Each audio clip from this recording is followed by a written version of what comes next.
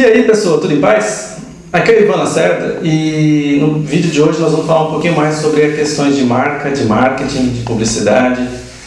E eu queria, na verdade, que você refletisse um pouquinho sobre quais são as marcas que você é fiel ou que você utiliza desde a mais tenra infância ou desde o momento que você começa a perceber a importância dessas marcas na sua vida. Tem algumas? Tem marcas que você utilizou durante um período e depois essa marca sumiu, você nunca mais viu, você até procura, mas não encontra em lugar nenhum. Existem marcas que você gostaria de ter ou de utilizar e que por um motivo ou outro você não tem acesso, mas você vislumbra e acredita nessa marca e gosta dessa marca e fala: Nossa, é o que a gente chama de marca aspiracional. Eu aspiro um dia poder ter e me relacionar com essa marca. Então, pessoal, se você tem, ou se você pensou, ou se lembrou de alguma dessas, você começa a entender a importância do marketing. Eu não vou chover no molhado falando aqui da importância de tudo isso, mas o quanto o marketing bem trabalhado, o marketing planejado, unindo planejamento estratégico, criatividade e a ação, que é a área comercial, a área de vendas, o, o campo, consegue tornar essa marca ou esses produtos memoráveis, produtos dos quais nós queremos utilizar e assim que possível na nossa vida, o maior tempo possível. Então eu tenho comigo algumas marcas das quais eu sou estritamente fiel. Eu não vou ficar citando aqui, mas eu tenho uma marca de calça que eu só uso essa calça. Meus alunos sabem qual, é, qual, qual é, né? E eu não consigo comprar outra marca. Olha que louco. Às vezes eu até ganho marca, roupa, calça de uma outra marca, o pessoal ganha, me dá de presente, mas não me cai bem, não sei, não consigo. Eu sou fiel a tal marca. Eu, aliás, eu sou uma pessoa muito fiel. Então eu olho para aquilo e falo assim, não vai. E aí eu acabo usando uma, duas, três vezes e passo para frente. Tênis, eu tenho recentemente, de uns anos para cá, eu tinha uma marca da qual eu estava me adaptando, mas eu até falei em vídeos anteriores que pela pelo trabalho que essa empresa fez ou pelo desserviço que ela prestou ao país, é, eu não uso mais essa marca. E não vou usar nunca mais. Não, não tenho o menor interesse em voltar a usar essa marca.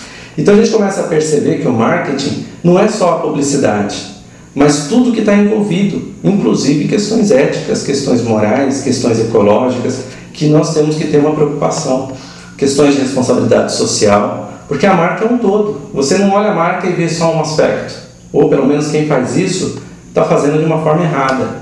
Ela tem toda uma abrangência da qual nós temos que estar atento. E existe também um fator importante que é atrelar a marca à situação. Portanto, quando eu atrelo a marca a uma questão, ou uma situação, ou uma questão emocional, você consegue se apegar melhor àquilo. Imagine uma, uma garota que se formou e ganhou, por exemplo, um carro de tal marca. Aquilo está tão atrelado que aquela marca está voltada para o sucesso que ela obteve, que é muito provável que ela vai ser fiel àquela marca de carro durante provavelmente boa parte da vida dela. No meu caso, por exemplo, quando eu era jovem, office boy, hum, praticamente sonhava em ter um tênis de uma marca maravilhosa, linda, e eu comprei esse tênis. E usei esse tênis três dias. No terceiro dia eu fui assaltado. Ali na 9 de julho, um local aqui em São Paulo, com arma, tudo, jovem, né? Fui assaltado e me levaram esse tênis. O que, que aconteceu comigo? O tênis era ótimo, a marca é ótima, é uma das líderes do mercado até hoje, mas eu nunca mais comprei dessa marca. E não uso nada dessa marca. Então, uh, recentemente eu ganhei uma camiseta com essa marca e eu passei para frente. É quase que aquilo está me associado a um momento ruim, a um mau agouro, da qual eu não quero essa marca, não vai, não bate. Então, porque eu vejo aquela marca, eu lembro daquele tênis, eu lembro daquela situação que para mim é uma situação de estresse, e aí não rola. Então, é, é interessante a gente entender esse aspecto mental, essa questão do, de como nós gravamos, de como nós nos relacionamos com essa marca ou com as marcas, sempre vai ter esse aspecto do benefício, do uso, dos valores que ela tem, do valor financeiro e do valor emocional, do onde ela está atrelada. Então, é, comece a observar isso. Comece a ver quais marcas realmente vale a pena você investir. Qual marca ela é fiel a você também, porque não basta só você ser fiel à marca, ela também tem que ser fiel ao seu, ao seu cliente, ao seu consumidor, principalmente no que diz respeito a serviços. Então tem muitas empresas que prestam serviço e que são dignas, trabalham direito, trabalham corretamente e merece ter o nosso apoio, merece ter o nosso uso e, e até a divulgação de sua marca. Mas tem muitas que não tratam esse cliente ou esse consumidor com respeito. Então, a fidelidade aí morreu, tanto dos você com relação a ela e dessa marca com relação a você.